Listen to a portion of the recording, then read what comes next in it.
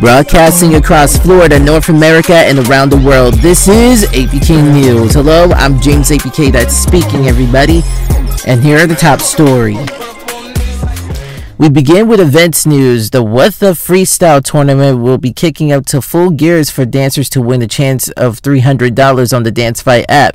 It'll be judged by Beastie and also Just Soul, with the music sounds from Karate Jetty. It goes down tomorrow on the Dance Fight app. Make sure you register if you want to participate.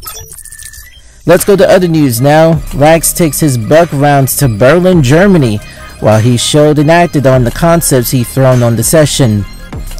Demon Von back in Washington DC, of course, hit some light for featuring some bruck up movements, including some hat tricks in the mix.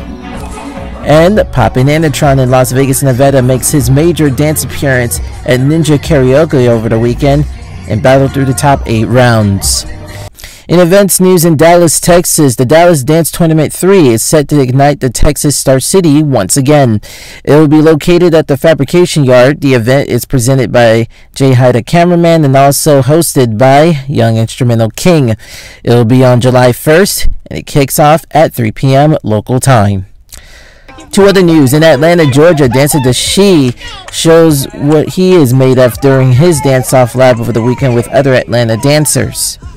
And the adventurous dancer Rashad Warren in California hits the moves on the Jordan Jade cover of Bay to Saint Tropez. Video from Leon the Lion shows the behind the scenes moments from the YG and Tyga music video shoot that took place in Oakland, California, featuring several prominent turf figures such as the Turf Feinz, Crow, Zell, Lil Jojo, and so many more. And what a time it was over the weekend for this amazing video shoot.